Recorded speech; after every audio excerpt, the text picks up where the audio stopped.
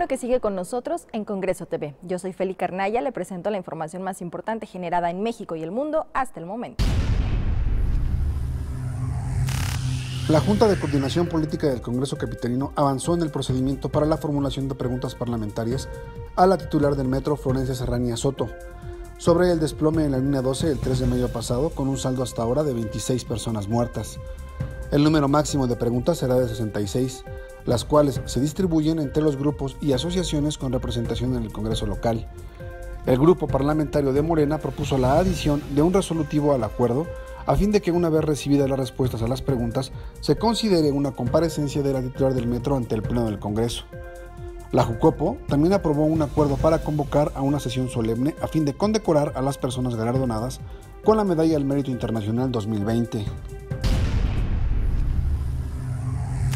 Tras declararse en sesión permanente, la Comisión de Preservación del Medio Ambiente, Cambio Climático, Protección Ecológica y Animal prosiguió el análisis y discusión del dictamen mediante el cual se abroga la Ley de Mitigación y Adaptación al Cambio Climático y Desarrollo Sustentable para la Ciudad de México y se expide la Ley de Mitigación y Adaptación al Cambio Climático y Desarrollo Sustentable para la capital del país. Conforme al dictamen, las modificaciones buscan definir con mayor claridad los principios, criterios, instrumentos y órganos encargados de la aplicación de la política de la Ciudad de México en materia de cambio climático. También se busca fijar las bases para desarrollar políticas públicas climáticas con criterios transversales que coadyuven al equilibrio de la biodiversidad, los ecosistemas y sus servicios, a proteger y mejorar la calidad de vida de la población y a orientar las instituciones, el sector productivo y la sociedad civil hacia un desarrollo sustentable. El dictamen fue aprobado con ocho votos a favor y se espera que en las siguientes sesiones del Congreso de la Ciudad de México sea avalado por el Pleno.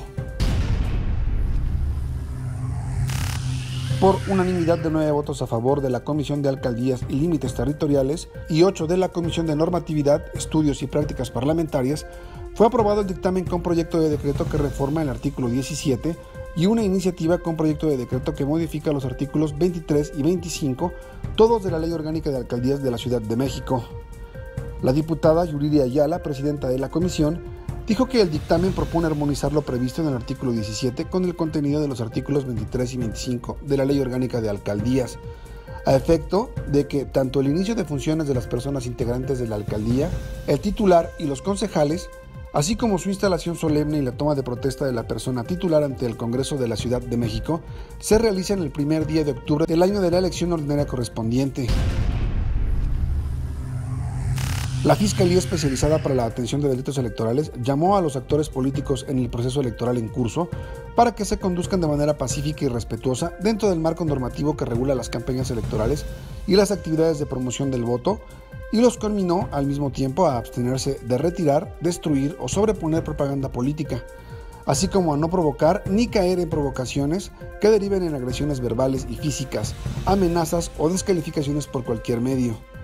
dijo que al 15 de mayo ha recibido 162 denuncias, de las que el 30% se relaciona con la colocación, retiro, destrucción y sobreposición de propaganda política electoral, agresiones verbales y físicas contra candidatos, brigadistas, simpatizantes, voluntarios y la ciudadanía. Este martes 18 de mayo iniciará la vacunación contra el COVID-19 al personal educativo de la Ciudad de México. Unas 356.342 personas confirmaron las autoridades del gobierno capitalino. Para la inoculación, que se prolongará hasta el sábado 22 de este mes, se usará la vacuna Cancino AD5 NCOP de una sola dosis, cuya máxima eficacia se alcanza 14 días después. Eduardo Clark García, director general de Gobierno Digital de la ADIP,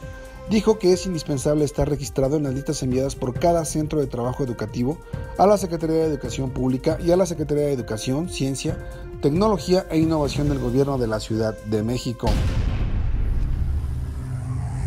Peritos de la empresa noruega DNB iniciaron la recolección de muestras de concreto en la zona cero, en Avenida Tláhuac, y de material fotográfico a fin de conocer las causas del colapso de una trave del viaducto elevado de la línea 12 del metro capitalino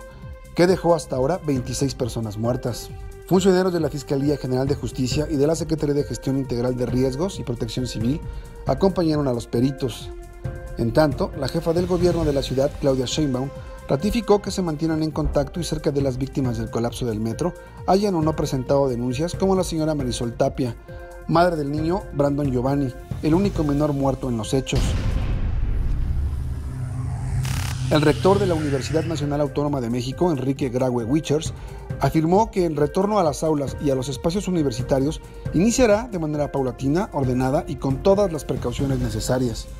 Graue Wichers hizo este anuncio durante la ceremonia por el Día del Maestro, el primer acto presencial universitario desde el inicio de la pandemia por coronavirus. Dijo que la conmemoración correspondiente al 2020 y 2021 celebra en los maestros una de las misiones que sustentan a la universidad y refleja además una luz de esperanza y el anhelo de regresar y convivir físicamente. Graue Wichers galardonó a 152 académicos con 50 y 51 años de formar generaciones e invistió como eméritos a 13 académicos, al tiempo que reconoció a ex integrantes de la Junta de Gobierno y del Patronato Universitario que terminaron su encargo.